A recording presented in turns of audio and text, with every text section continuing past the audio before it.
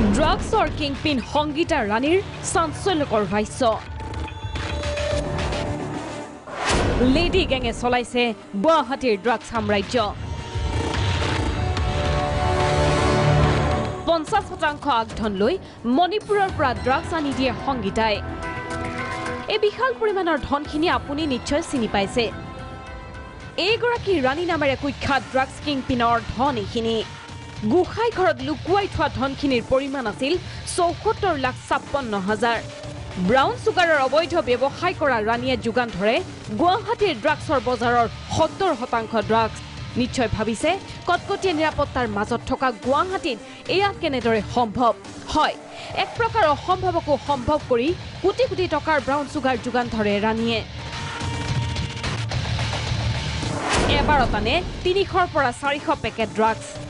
WhatsApp যোগে কথা পাতে ৰাণী আৰু গ্ৰাহকে। প্ৰথমতে মুখ নোখোলা ৰাণীৰ মুখত ওলোৱা এনে তথ্যই বহু গোপন খবৰৰ সম্ভেদ দিছে ক্ৰাইম ব্ৰাঞ্চক। ভিডিঅ' জাৰ্নেলিষ্ট কংকন বৰদলৈ সহযোগত সমৰজ্যোতি শৰ্মাৰ ৰিপৰ্ট প্ৰাগ নিউজ।